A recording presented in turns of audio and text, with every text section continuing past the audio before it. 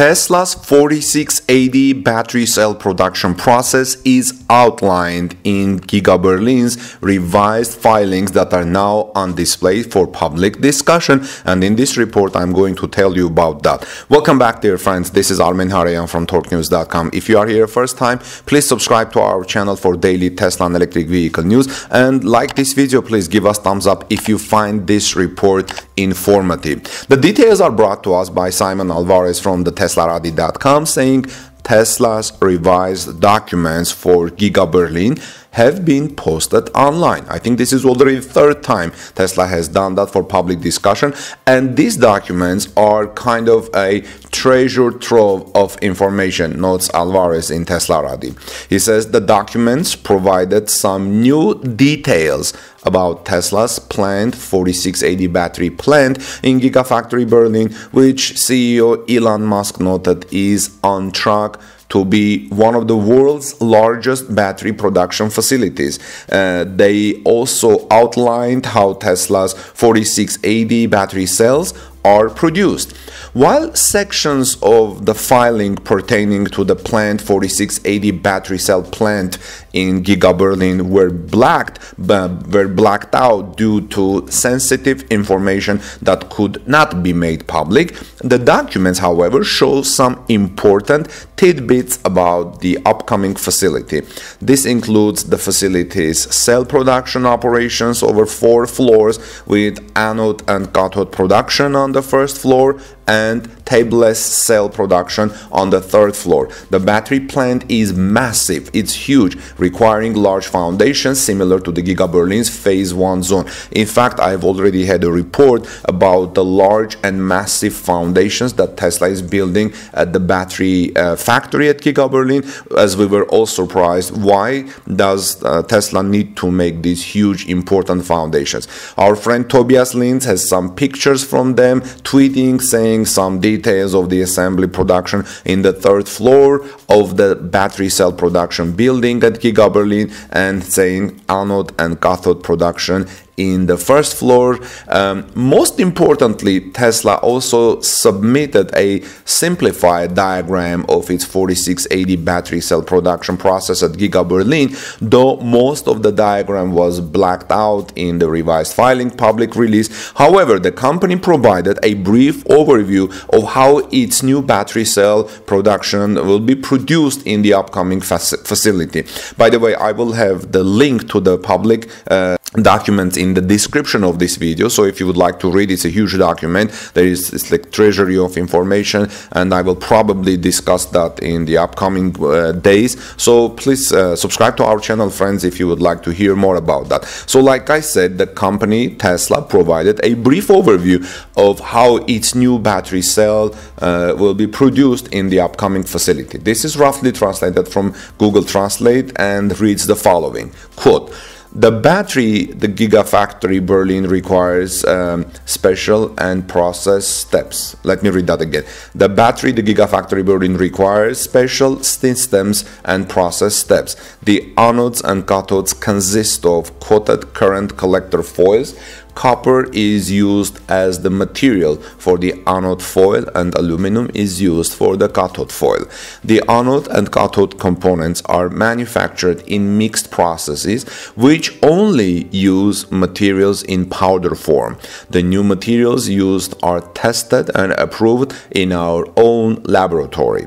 In order for the powder coating to adhere to the tool films, they must first be pre-coated with a thin layer of adhesive this substrate, uh, substrates is delivered in containers. The pre-coating is necessary because a dry coating with powder takes place after the anode and cathode components have been mixed. They are applied as a coating to the respective substrate coated film in order to establish electrical contact.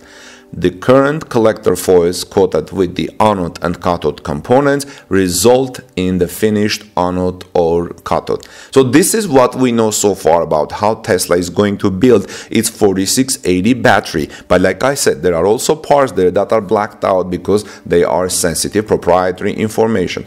Our friend um, uh, Albrecht, who tweets at Gigafactory underscore 4 from Berlin, also has some information, sharing photos from the documents saying, here we can see how the battery plant will look like at Giga Berlin. In addition, we see a detailed side view on page uh, 235 in section 12 of Tesla's Gigafactory's um, Berlin, Giga Berlin's documents. Now, the revised filings of Giga Berlin's documents also provided a general idea of how Tesla's tabless cell production works.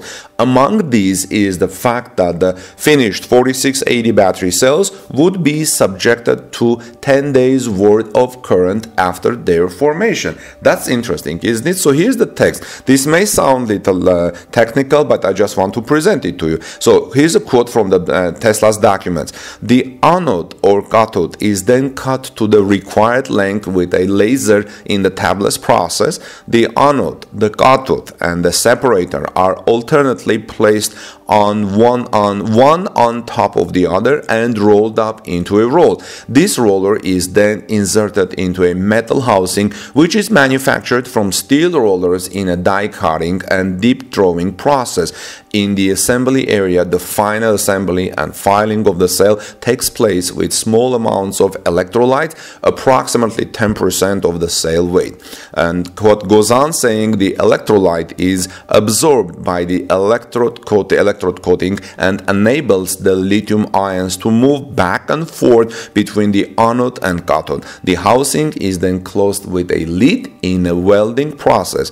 The last step in uh, is the formation of the cell. In the formation process, the cell is electrically started up by charging and discharging it under different temperature conditions. The finished cell remains in this area for approximately 10 days and is then put to further use. The cells produced are subjected to random quality control in our own laboratory. I think this is a very interesting and explanatory uh, regarding the process of how Tesla Giga Berlin is going to build its um, batteries for new uh, Model Y. You know, like I said, I will have a link to Tesla's filings in the Gigafactory Berlin uh, in the description of this video, friends, for you to know. You know, remember in uh, uh, May 18, Elon Musk said confirmed that the Model Y produced from Gigafactory Texas would be launching with 4680 battery cells. The update was related by Musk in a recent interaction on Twitter, which was on May 18. Um, and he said, uh, Hallmark's catalog asked if uh, will Austin start by producing 27 Model Y, uh, 27, uh, 2170 Model Y, or jump straight to 4680, referring to battery.